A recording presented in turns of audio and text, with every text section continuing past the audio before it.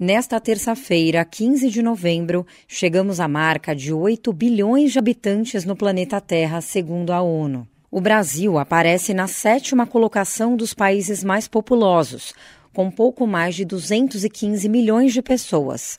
Essa é a primeira vez que o planeta registra a diminuição no ritmo do aumento da população, que está cada vez mais envelhecida. Esse é um período chamado de transição demográfica, como explica Everton Emanuel Campos de Lima, cientista social, professor de demografia na Unicamp e pesquisador no Núcleo de Estudos de População a mortalidade cai primeiro, as populações crescem, porque as pessoas continuam tendo ainda um alto número médio de filhos, mas depois com o processo de transição, também o, a fecundidade ela cai e ela fica baixa. Então a gente chega num outro regime demográfico é com baixa mortalidade e baixa reprodução. Esse novo cenário exige uma preocupação maior com a população idosa, com desafios na garantia de direitos como aposentadoria e também na assistência à saúde. Reduzir as desigualdades sociais é um dos maiores desafios, principalmente no Brasil, um cenário que se agravou depois da pandemia de Covid-19. Com o crescimento dos postos de trabalho em áreas de tecnologia,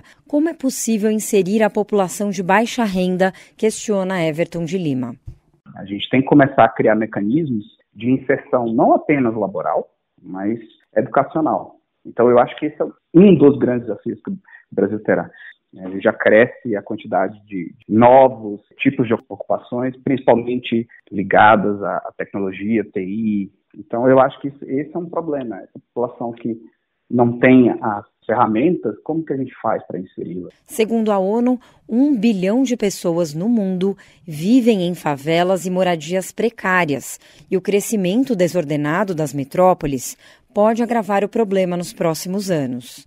Cada vez mais surge novos empreendimentos e o preço dessas coisas só aumenta, de um lado. Do outro, você tem uma parte urbana que já existe e que necessita de investimentos, favelas ou áreas mais suburbanas. Isso não está acontecendo. A ideia seria você investir no que existe e, e melhorar a infraestrutura do que existe.